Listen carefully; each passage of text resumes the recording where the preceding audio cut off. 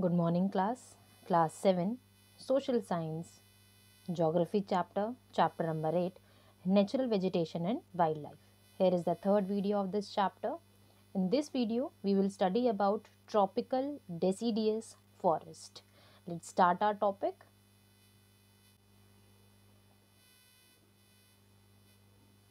Tropical deciduous forest.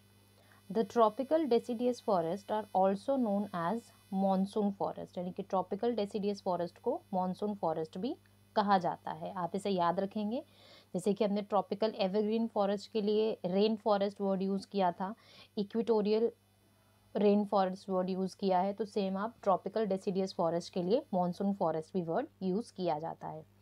These forest are found in a regions where rainfall is around 150 centimeter and the temperature is about 20 degree Celsius to 40 degree Celsius. तो ये एक temperature है। आप compare कर सकते हैं बेटा। जब हम लोग एवरग्रीन की बात करते हैं तो 200 सेंटीमीटर है और टेम्परेचर 15 डिग्री टू 30 डिग्री रहता है। यहाँ पर हम लोग जब बात कर रहे हैं तो यहाँ पर टेम्परेचर है 150 सेंटीमीटर टू टेम्परेचर कितना है? 20 degree Celsius to 48 degree Celsius. Particularly जब हम लोग बात करते हैं फॉरेस्ट की तो एक बार अगर रीजन्स देख लें they are found in Asia Asian countries की अगर हम लोग बात करें तो India Pakistan Sri Lanka Philippines and South China में ये फॉरेस्ट अवेलेबल है। ये सेंट्रल अमेरिका में पार्ट्स ऑफ़ ब्राज़ील में ईस्ट अफ्रीका में और नॉर्दर्न ऑस्ट्रेलिया में फॉरेस्ट ज़्यादातर अवेलेबल है। नेक्स्ट है the trees are the trees of tropical deciduous forest जब हम लोग ट्रीज़ की बात करते हैं, जो कि ट्रॉपिकल डेसीडियस फॉरेस्ट हैं they shed their leaves during dry season dry season में अपनी पत्तियाँ जो हैं, झड़ा देते हैं dry shed their leaves and grow new ones in a rainy season dry season में शेड करके रेनी सीज़न में न्यू लीव्स आ जाती हैं. These trees of the trees of these forest are not very tall यानी कि बहुत ज़्यादा लंबे नहीं होते हैं, जिस तरीके के हम लोग ट्रॉपिकल एवरग्रीन फॉरेस्ट की बात कर रहे थे। They are a thick undergrowth of shrubs and small trees यानी कि शर्ब ज़्यादा होते हैं स्मॉल ट्रीज छोटे पेड़ ज़्यादा यहाँ पर इस रीजन में या ट्रॉपिकल डेसीडियस फॉरेस्ट के अंदर हमें मिलते हैं। नेक्स्ट है, अगर हम लोग इनके एग्जाम्पल्स की बात करें तो बेटा अगर हम लोग फॉरेस्ट की बात करते हैं फिर हम लोग उन ट्रीज़ की बात करते हैं जो कि इन सब जगहों पर मिलते हैं। तो हेयर इज़ द नेम्स और अगर हम लोग वाइल्ड लाइफ की बात करें तो हेयर इज़ द नेम्स तो हमें सिर्फ़ इनको लर्न करना है। आप एक एक दो दो एग्ज़ाम कम से कम चार एग्जाम्पल्स ट्रीज़ के और कम से कम चार एग्जाम्पल्स आप वाइल्ड लाइफ के याद रखें। ठीक है? The trees of these forest are like teak sals candlewood sisam bamboo eucalyptus ये सारे वो ट्रीज़ हैं जो कि इस पर्टिकुलर रीजन में मिलते हैं और कमर्शियली ये बहुत ज़्यादा वैल्यूएबल होती हैं क्योंकि हमारे फर्नीचर वगैरह इन सब ट्रीज से, इन ट्रीज़ के जो ट्रंक होता है उनसे बनाए जाते हैं। नेक्स्ट है, जब हम लोग वाइल्ड लाइफ की बात करते हैं तो tigers lion leopard elephants bears monkey deer rhinoceros ये और वैरायटी ऑफ़ स्नेक्स यहाँ पर हमें मिलते हैं। हॉर्नबिल पिकॉक वुड पिकर ये सारे वो बर्ड्स हो गए और एनिमल्स हो गए जो कि यहाँ पर अवेलेबल है।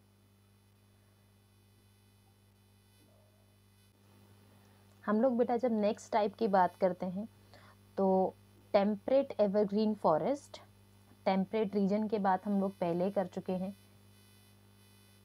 आपके tropic of cancer tropic of capricorn और आपका जो साउथ पोल और जो नॉर्थ पोल है, इनके बीच का जो पार्ट है, ये आपका टेम्परेट जोन है, ठीक है?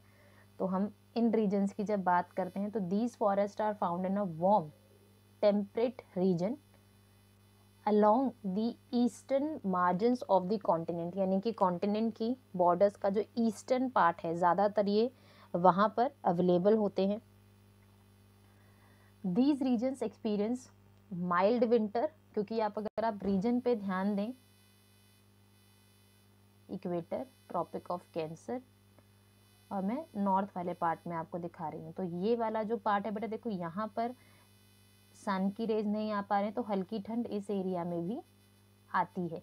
तो ये जो बीच वाला पार्ट है, यहाँ पर अवेलेबल है तो हल्की ठंड भी ये रीजन के अंदर आपको देखने को मिल जाती है। इसके बाद है these regions experience mild winters and heavy rainfall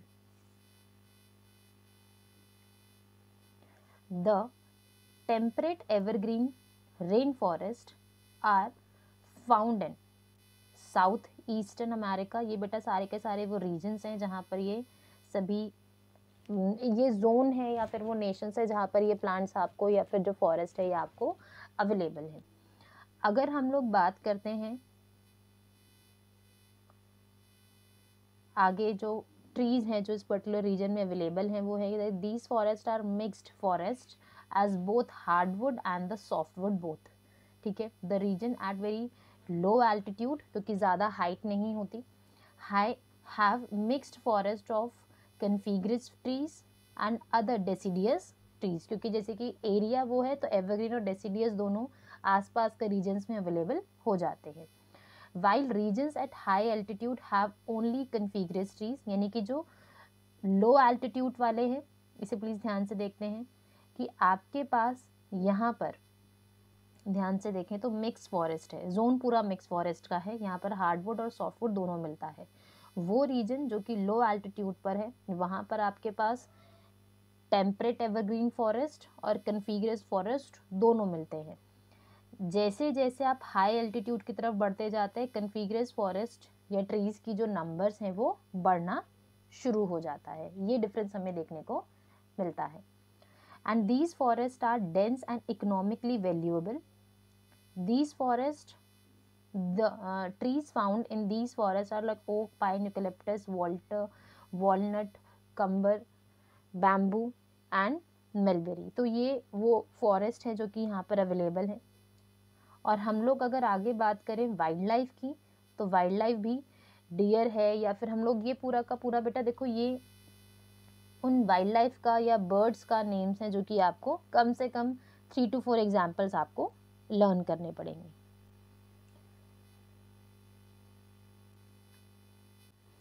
next हमारे पास एग्ज़ाम्पल है बेटा टेम्परेट डेसीडियस फॉरेस्ट का। जोन वही है बट फॉरेस्ट का जो नंबर है या फिर हम कहें कि यहाँ इस वाले पर्टिकुलर एरिया के अंदर हमारे पास प्लांट्स या जो ट्रीज़ हैं, उनका अमाउंट थोड़ा सा कम हो जाता है। आप जब एवरग्रीन की बात करते हैं, वहाँ पर बहुत ज़्यादा डेंस है, यहाँ पर उतनी डेंसिटी ट्रीज या प्लांट्स की नहीं होती। Temperate deciduous forests are found in a coastal regions on the eastern and the western margins. Region कौन सा है? ईस्टर्न और वेस्टर्न मार्जिन का। तो ये जोन आप याद रखेंगे। और जब हम लोग एवरग्रीन की बात करते थे तो एवरग्रीन के अंदर ईस्टर्न मार्जिन पर अवेलेबल है। हम लोग जब डेसीडियस की बात करते हैं तो यहाँ पर वेस्टर्न मार्जिन भी साथ में ऐड होता है। Of the continents next is these forest are found in regions with a moderate rainfall क्योंकि बहुत ज़्यादा बारिश नहीं होती, क्योंकि डेसीडियस जैसे कि नाम से ही पता चल रहा है तो बहुत ज़्यादा बारिश नहीं है। सेवेंटी टू एटी सेंटीमीटर जितना रेनफॉल है। And average temperature is of around twenty degree Celsius, क्योंकि बहुत ज़्यादा टेम्परेचर नहीं होता, क्योंकि सन की रेज इतनी ज़्यादा वहाँ पर नहीं पहुँच पाती। And are average temperature of twenty degree Celsius these forest are found in a north eastern part of the U S A north western Europe north eastern China Japan south Korea south Chile and New Zealand तो ये वो regions हैं जहाँ पर ये सारे forest available हैं। इसके बाद है these trees are not very tall but have thick trunk and broad leaves पत्तियाँ बड़ी होती हैं, तना मोटा होता है, पर ज़्यादा लंबे नहीं होते। ये जो अपनी लीव्स हैं they shed in the autumn season and winter के अंदर इनके ऊपर कोई पत्ता नहीं होता बेयर होते हैं, बंजर जैसा। ठीक है न्यू लीव्स के जो स्प्राउट्स हैं, यानी कि नई जो पत्तियाँ हैं, वो स्प्रिंग सीज़न में खिलनी शुरू होती है, पूरी तरीके से मतलब सीज़न के एंड तक आते आते इनके ऊपर पूरी पत्तियाँ आ जाती हैं। नेक्स्ट है बेटा, ये एग्जाम्पल्स हैं अगेन आपको लर्न करने पड़ेंगे। कुछ आप इजी इजी जो भी आपको ठीक लगे, वो आप लर्न कर लें at least three two four same here यहाँ पर आपके पास ये वाइल्ड लाइफ्स हैं, जो कि टेम्परेट डेसीडियस फॉरेस्ट के अंदर हमारे पास अवेलेबल हैं।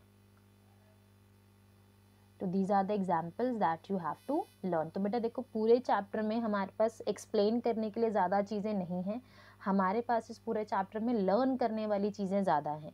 ठीक है? आपने क्या क्या लर्न करना है? आपने फॉरेस्ट का नेम लर्न करना है। ठीक है? कौन से एरिया में या रीजन में हमें मिलता है, वो लर्न करना है।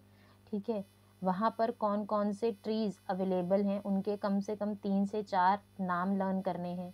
ठीक है? एनिमल्स कौन से अवेलेबल हैं? उनके कम से कम तीन से चार नाम लर्न करने हैं। बर्ड्स के नेम्स लर्न करने हैं। ठीक है? तो ये चीज़ें आपको लर्न करनी पड़ेगी। ये मेन है। अगर किसी पर्टिकुलर जोन का टेम्परेचर गिवन है रेनफॉल गिवन है तो आपको जिसका गिवन है, सिर्फ़ उनका लर्न करना डिटेल में आपको नहीं जाना है। तो नेक्स्ट वीडियो में बेटा हम लोग जो बाकी के दो टाइप्स रह गए हैं मेडिटेरियन और कन्फिगरिस हम उसके बारे में बात करेंगे।